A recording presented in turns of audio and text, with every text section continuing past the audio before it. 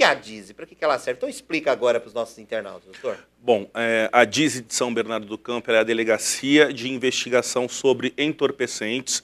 Né? Além da DISE, dentro da mesma delegacia nós temos o SIG e a Antissequestro. Eu vou explicar. É, a DISE é a delegacia responsável pelo combate ao tráfico de entorpecentes, a todos os crimes de tráfico que ocorrem aqui no município de São Bernardo. Concomitantemente a isso, também é função da DISE estar tá investigando os crimes contra o patrimônio.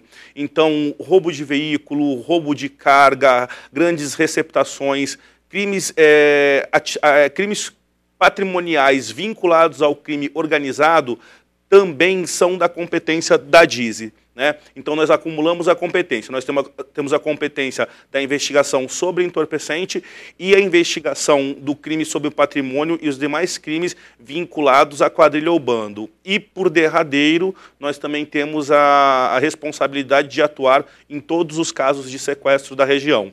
É, nós poderíamos dizer que a responsabilidade da DISE de São Bernardo é atuar diretamente nos crimes, não necessariamente nos crimes de maior repercussão, mas nos crimes que demande uma investigação mais elaborada.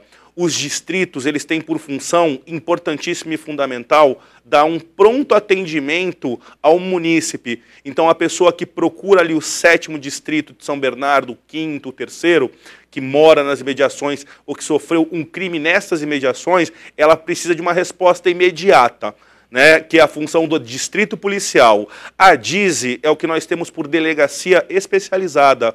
A função da especializada, é, no linguajar popular, digamos assim, seria investigar os grandes crimes. Mas é, seriam as investigações mais elaboradas e vinculada a essas três áreas: a área de entorpecentes, a área patrimonial e ao sequestro.